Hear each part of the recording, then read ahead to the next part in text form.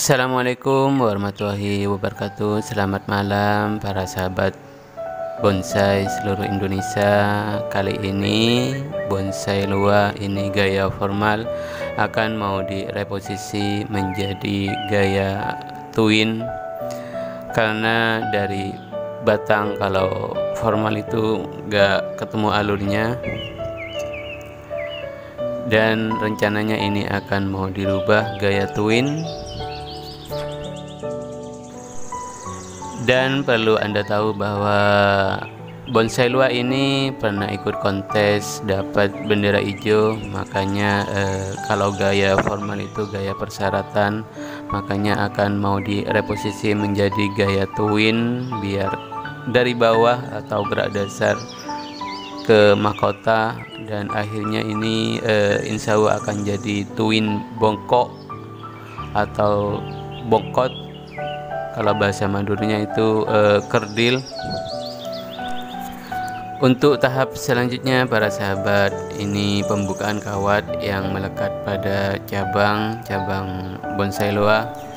Loa ini didapat dari pameran lokal atau kopdar di salah satu pameran di tempatnya itu di Madura. Karena Abah Tupik sang owner itu namanya Abah Tupik sang PT Rato Art Bonsai. Dia seorang pembisnis dan alhamdulillah sukses dan semoga lancar untuk usahanya. Biar dia konsisten dalam berbonsai. Dan tujuannya Abah Tupik itu membeli bonsai untuk uh, menenangkan pikiran dan bisa menikmati hasil proses. Untuk tahap selanjutnya baru dilakukan pemotongan ini yang akan akhirnya menjadi mahkota. Makanya ini kalau gak dipotong akhirnya kepanjangan perlu pemotongan biar kelihatan bokot atau kerdil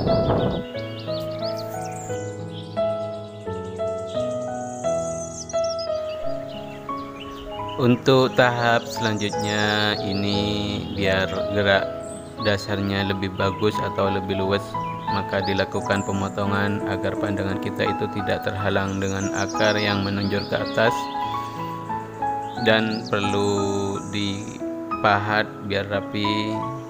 Kalau sudah selesai nanti dipahat biar kelihatan rapi indah kokoh dan ini akan mau direposisi. Ini sebenarnya luar di atas batu. Jadi para sahabat seluruh Indonesia untuk base camp ini di kediaman Abah Haji Topik dan ini sang guru sudah datang. Nama guru kita itu eh, Pak Hartono. Dia dari Jawa. Alhamdulillah dia menetap di Madura dan kerasan di Madura dia seorang juri nasional tentang burung dia mempunyai sertifikat sertifikat tentang burung dan dia sudah uh, lama juga menekunin bonsai. Makanya dia mau menuangkan ke anak pemuda Pantura Madura agar anak muda Pantura itu berkreasi uh, membuat bonsai yang menghasilkan karya seni yang bagus. Tujuannya itu dari sang beliau Pak Hartono dan untuk para sahabat seluruh Indonesia salam satu hobi. Ayo silahkan disimak dari beliau Pak Hartono cara menuangkan ilmunya ke suatu karya seni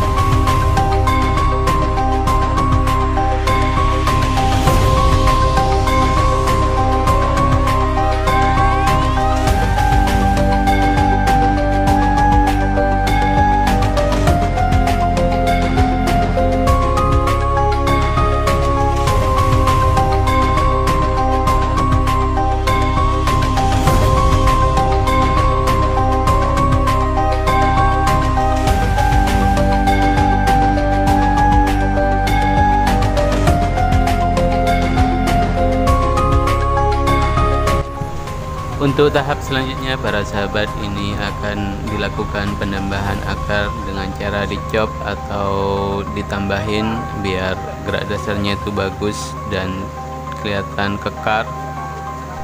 Untuk luar ini satu jenis dengan fikus. Kalau penambahan akar atau pengecopan akar itu insya Allah akan cepat menyatu. Rata-rata itu berhasil karena tidak seperti bonsai sisir atau bonsai santigi yang tidak bisa direkayasa untuk akar. Kalau lo loa atau uh, kimeng atau beringin insya Allah itu 95% berhasil. Atau asal tahu eh, teknik dan caranya insya Allah berhasil untuk pengecopan atau penambahan akar yang dilakukan pada bonsai low atau beringin